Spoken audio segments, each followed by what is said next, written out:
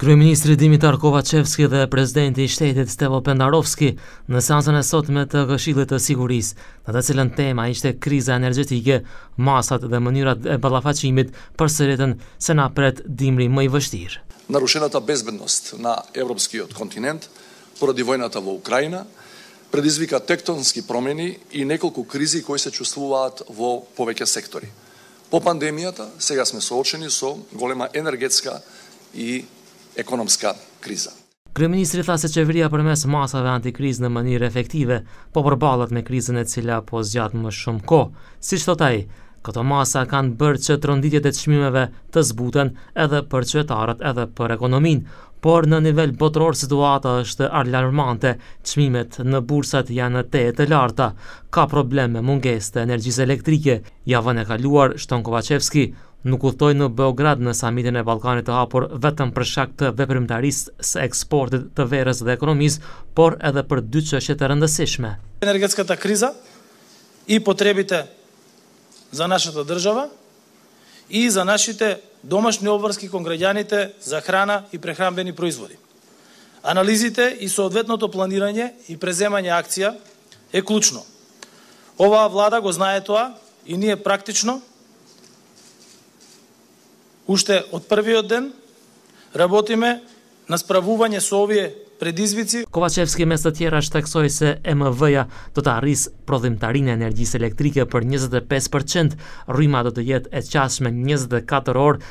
dhe tarifa e lirë e energjisë do të vazhdojë, kompanitë do të paguajnë energji elektrike më të lirë se çmimet e bursës.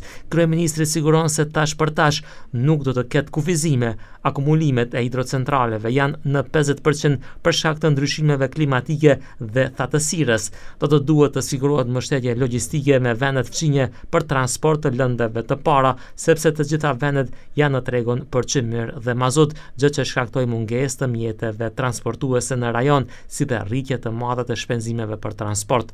Krahas masave për kursim, kryeministri i lut qytetarët të mos nxjerrin kriptovaluta, pasi energjia elektrike është e subvencionuar.